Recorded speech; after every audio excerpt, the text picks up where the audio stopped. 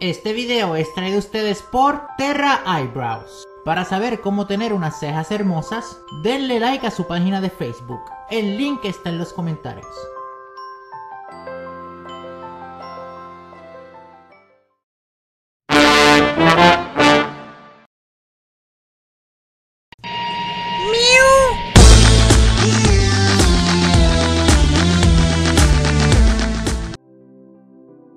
Ah, la magia. Un dispositivo sumamente conveniente para explicar cosas que no tienen sentido en muchas películas. Pero la magia también se usa y ¿quién eres tú? Oh, em, pues bienvenido. Bueno, como decía, hoy en películas que me hacen decir what the fuck, estaremos hablando de El Mago del Gore.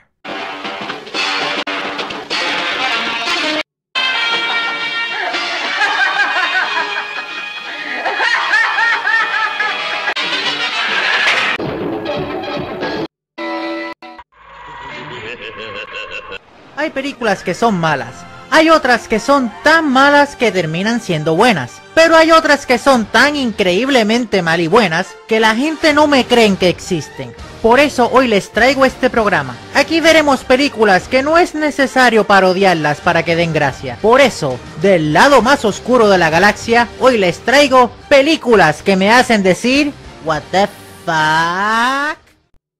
Antes de empezar a hablar de la película, tengo que decir dos cosas. Una es que estoy consciente que está mal escrito la palabra gore en el título. Pero es que las nuevas pólizas de YouTube no me lo permiten poner en los títulos ni en la descripción.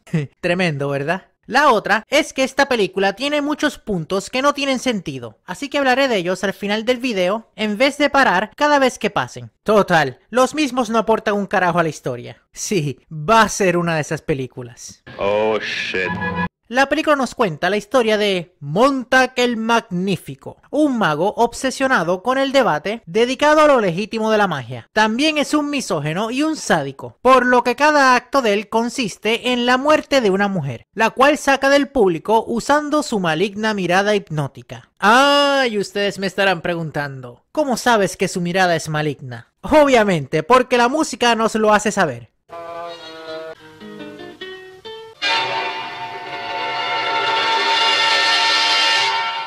Sí, amigos, va a ser una de esas películas.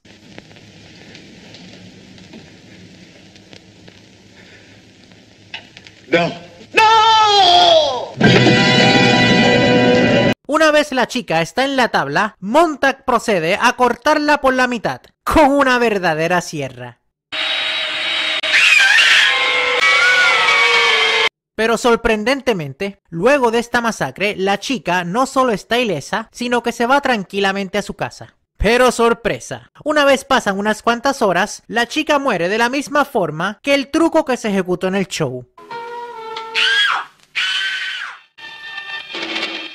Luego de eso, Montag se roba el cadáver de un ataúd hecha de cartón prensado para hacer un ritual con el mismo en el cementerio. De allí la película nos muestra a nuestros protagonistas. Cherry, una reportera de farándula en TV, y Jack, un reportero de deportes. Cherry está tan impresionada con el truco de Montag que la misma no solo lo menciona en su show, sino que también lo va a visitar para ofrecerle una entrevista. Montag dice que no quiere ser entrevistado, pero sí hará un truco de magia en vivo en el show de ella. Luego procede a invitarla a Jack y a ella al show de esa noche. Pero antes de salir para el show, Jack se da cuenta del asesinato de la joven de la noche anterior, lo que hace que confronte a Montag con la trágica noticia. A lo que él mira a la cámara para responder...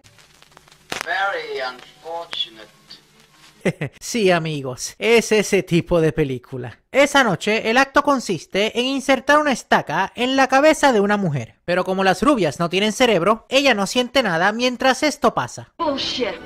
Es más, ella se aburre tanto que termina yéndose antes que se acabe la escena, por lo que los productores se ven obligados a reemplazarla con un maniquí. Ya saben, como la vieja película de los 80 del muchacho que trabaja en una tienda y encuentra un maniquí que se transforma en una rubia bien buenota, abriendo paso a que ambos se enamoren. Ah, qué hermoso es el amor.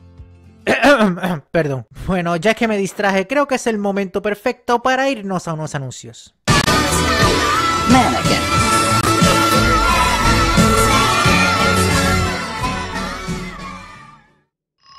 The warehouse is in danger. The goodies we must save.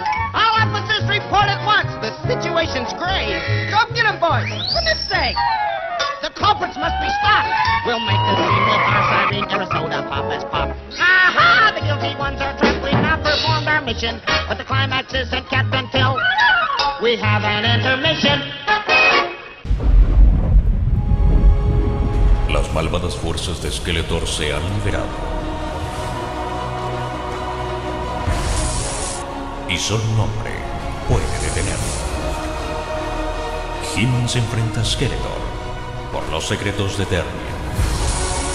Y quien domine los secretos del castillo Grayskull tendrá el poder para dominar el universo.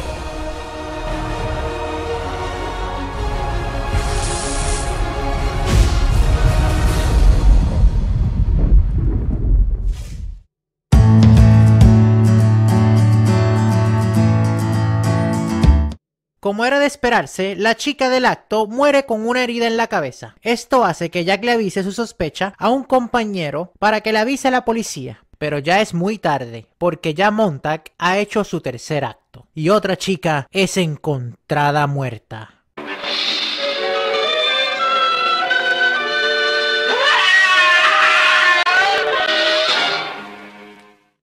And the Oscar goes to. Una vez pasa el tercer asesinato, la policía se moviliza para seguir a la próxima mujer voluntaria. Pero sorpresa, esta vez Montag tiene dos, a las cuales les introduce una espada en la garganta. Luego del show, aunque la policía las está vigilando, ambas mujeres mueren de la misma forma que pasó en el truco. Esto hace que nuestros protagonistas pongan a Cherry como carnada en el truco que Montag piensa hacer en el show de ella. Let's play the game. Esa noche, el mago maligno piensa quemar viva a su voluntaria, o al menos eso nos dice la entrevista que estuvo diciendo toda la película que no iba a dar. De hecho, la misma está tan aburrida que hasta los policías se están durmiendo en el estudio. Pero el plan de Montag falla cuando de casualidad Jack mira el suelo y no es hipnotizado, dándole la oportunidad de ir a salvar a Cherry, lanzando a Montag al fuego, terminando así su maligna ola de asesinatos.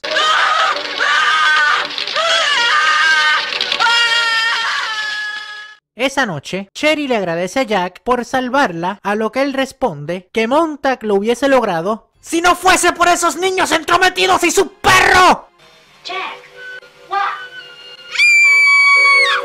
¡Ajá! ¡Sorpresa! Jack era Montag con una máscara puesta, lo que significa que el verdadero Jack se quemó en el fuego en el estudio. Sí, es una de esas películas. ¡Qué twist! Pero ajá, de nuevo, doble sorpresa. Luego que Montag destripa a Cherry, esta se levanta riéndose, diciendo que ella también estudia las artes oscuras, dándonos a entender otra vez que esta es una de esas películas. Pero ajá, tercera sorpresa. Allí Montag despierta y nos damos cuenta que la película nunca pasó y que él soñó todo mientras él hacía su acto, dejándonos a nosotros con muchas preguntas. Ah, sí, es una de esas películas.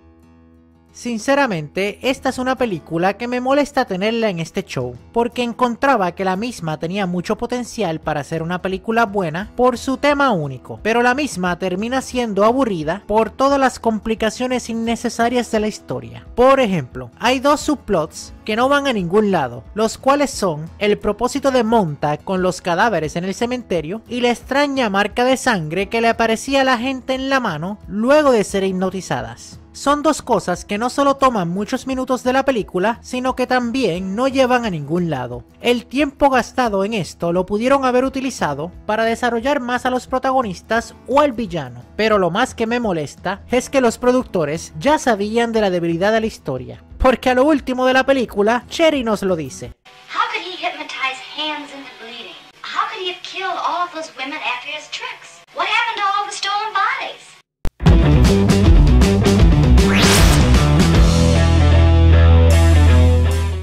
Sí, es una de esas películas. Y ya que Cherry hizo mi trabajo por mí, concluyo que aunque ellos mismos sabotearon una película que pudo haber sido buena, aún así, por más mala que sea, debo admitir que me entretuvo bastante. Vale la pena verla, aunque sea una vez, por su concepto único. Y obviamente, las actuaciones graciosas.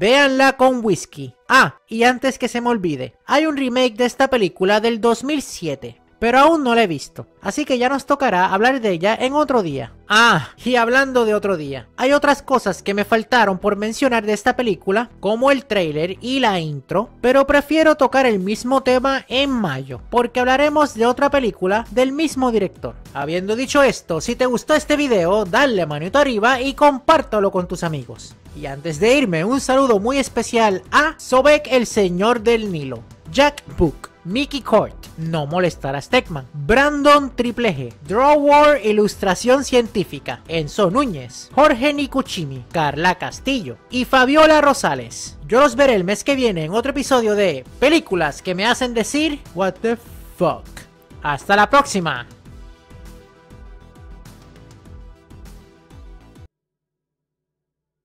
Señor, ¿quiere que le dé una mamadita? Sí, amigos. Es ese tipo de vacaciones. Hashtag ya Hasta la próxima.